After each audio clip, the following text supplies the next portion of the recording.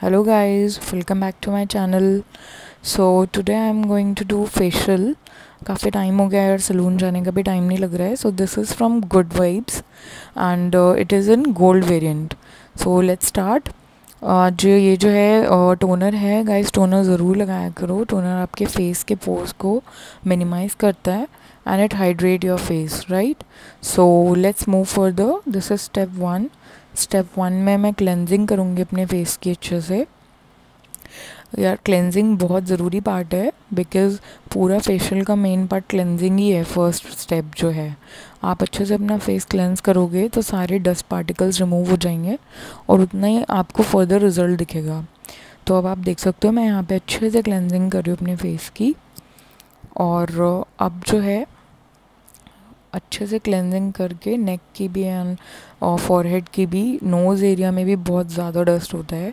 Now let's move to step two step two जो है यहाँ पे स्क्रबिंग है गाइस ये ट्यूब फॉर्म्स में है, काफ़ी अच्छी क्वांटिटी है। अगर आप दो जने भी करोगे तो तो भी ख़त्म नहीं होगा आई एम टेलिंग यू तो यहाँ पे मैंने स्क्रब कर लिया अच्छे से। स्क्रब एटलीस्ट वीक में तो दो बार करा करो। And you can see the difference मैंने खुद डिफरेंस देखा है। और इसके जो है, काफ़ी माइन्यूट पार्टिकल्स थे। फ्रेगनेंस भी बहुत अच्छी थी। और नाउ यू कैन सी अभी मैं फेस वॉश करके आपको दिखाऊँगी कि you will see the difference scrub के बाद कितना ज़्यादा डिफरेंस लग रहा है फेस में। और स्किन बहुत ज़्यादा हाइड्रेटेड लग रही थी। क्योंकि स्क्रब जो है, आपके सारे डस्ट पार्टिकल्स को हटा देता है।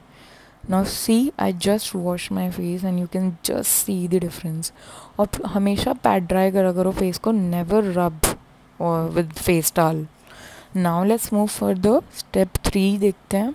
स्किन बहुत सॉफ्ट लग रही थी यार. Now step three is cream now what will do a massage obviously salon जैसी मसाज तो नहीं कर पाएँगे. नाउ सी यार स्क्वीजिंग मुझे इसलिए ट्यूब्स अच्छी नहीं लगती है। So now what we'll do is I apply the cream काफ़ी अच्छी क्वांटिटी थी। अच्छे से मैंने क्रीम लगा ली हुई है।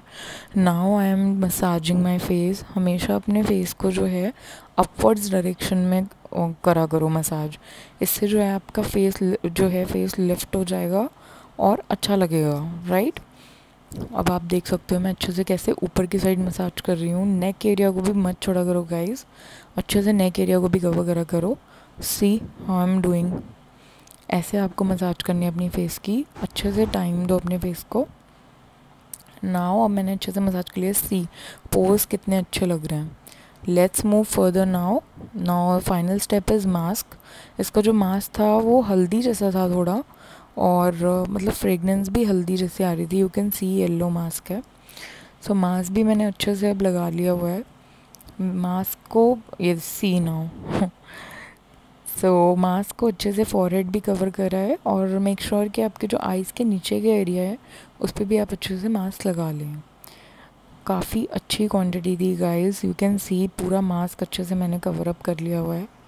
और अब इसको, इसके पीछे 15 टू 20 मिनट्स लिखा था। मैंने अच्छे से एटलीस्ट ट्वेंटी मिनट्स इसको रखा था।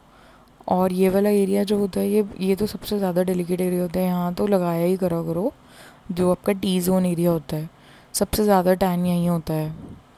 अब इसको अच्छे से लगाने के बाद I'll wash my face I actually I gone for this taking shower तो अब मैं शावर ले लूँगी इसके बाद। And you can see the difference so see now see बहुत क्लीन हो गया था फेस बहुत ज़्यादा। ये जस्ट शार के बाद की है और मैंने कुछ भी नहीं लगाया है फेस पे। Guys you can see this तो मेरी साइड से तो इसको थम्स अप है। It is really good and please try करो and it is not a sponsor video this is my own review okay guys meet you soon bye bye take care guys, if you want to learn this makeup look, please subscribe my channel. Bye